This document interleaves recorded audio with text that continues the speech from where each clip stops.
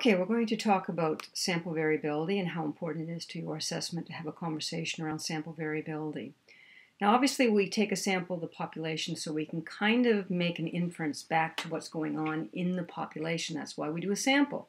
So we take samples and we look at them and we try to make some sort of inference about um, back in the population, about their heights or their feet size or whatever it might be.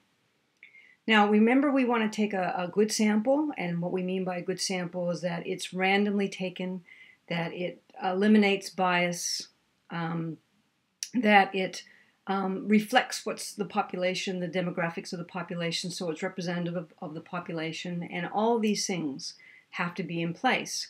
Um, now, let's just say, take for instance, let's just say that all these things have been taken into account, and we've done a good sample technique, we've eliminated bias as best we can, and we've got a representative sample.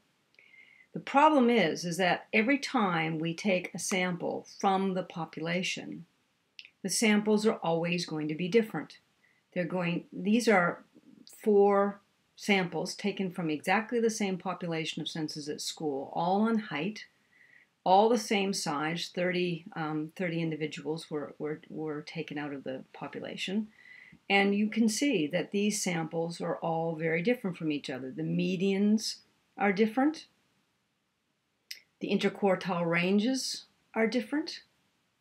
And so these samples all tell a story about what's going on back in the population, but they tell a bit of a different story each time, a bit of a different story. So what story is true? Well, this is something that we're going to have to do some more work around. But for the time being, when we have a conversation about sampling and about the things that we're seeing in our samples, we have to take into account sample variability and the fact that samples are all going to be different from each other. The medians will be different, the interquartile ranges will be different, the means will be different, even though they're taken from the same population. And that's called sample variability or sample error. And we cannot eliminate that variability. There is always going to be some error when we do sampling because we're never going to have exactly what's going on in the population. We're going to have sort of an estimate of what's going on back in the population. So we try to minimize the error and the variability, and we can do that through our techniques and our sample sizes and so on, but we can never eliminate it from the process.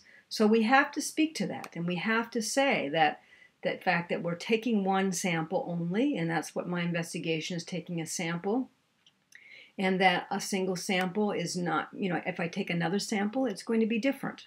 Another sample might be different amongst the medians and the interquartile ranges, and it's going to have a bit of a different story that it's going to tell. The other thing is, is that it's about sample size as well. Sample size also impacts sample variability. And I'm just going to show you a animation. Now, up at the very top here is what the population and its box plot it would look like in, if we took the height of girls of age 12 of the entire New Zealand population. It would look something like this with a box plot like this. But we never see this. This is the unseen world. We don't see this. What we do is we then take samples. And we can take samples of size 20 or size 100 or size 500. Now, if you take a look at the samples, these are, this is an animation of uh, hundreds of samples that are being taken of size 20. And you can see that the animation, this is running in real time. So these samples, hundreds and hundreds of samples of 20 are being taken from the population. And what do you notice? Well, you notice that the graphs, these samples are all different. All right? The, the medians sh shift back and forth. The interquartile range, the size of the box, shifts back and forth. And it does that quite considerably at size of 20.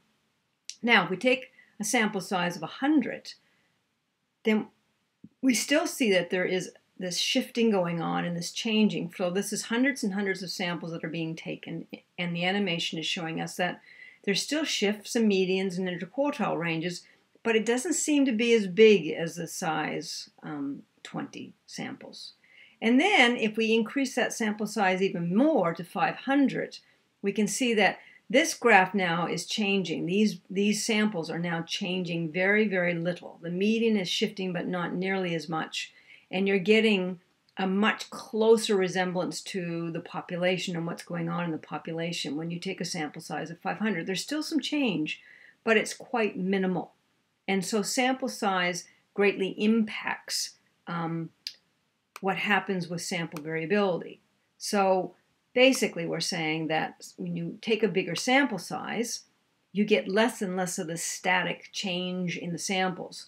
So this blue up here represents the medians, and you can see the wide band of, of where the medians fall. Basically, they fall. If I was to draw a line, this is the, the difference in the medians. It has that wide a band that are possible medians that can happen with, with this sample size. And with, with the 100, the sample size of size 100, we have a smaller width of where the medians will fall and a, a little bit cha less change in the box plot. And then if we take a size of 1,000, we get even a smaller confidence interval. That's like your confidence interval. Uh, smaller confidence interval where the medians will fall. Um, and, and the shift in the box is much, much less. So you can see that you can eliminate sample variability to a very large extent if you take a large sample size, and that also needs to be discussed.